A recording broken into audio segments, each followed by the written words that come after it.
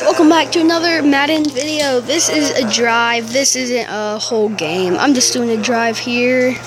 And if you're new to this channel, we play Madden Mobile daily if we get to 20 subscribers or at least 50 views on any of my videos.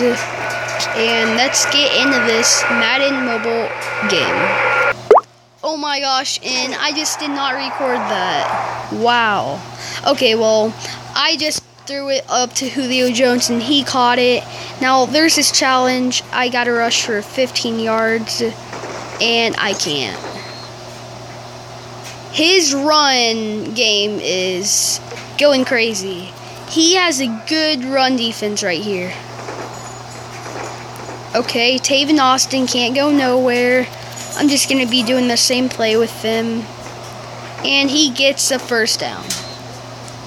Now let's actually do a short pass. Let's try and throw it to Dez Bryant if he gets open. Just hope he gets open and I see him open and I threw it right to him. And guys, that's an 89 overall Dez Bryant. You probably find him in the auction block somewhere. Probably goes around 12,000 or somewhere around that. I forgot how much I bought him for, but yeah. And that was about a loss of one. I cannot pitch it off anymore. My pitches suck.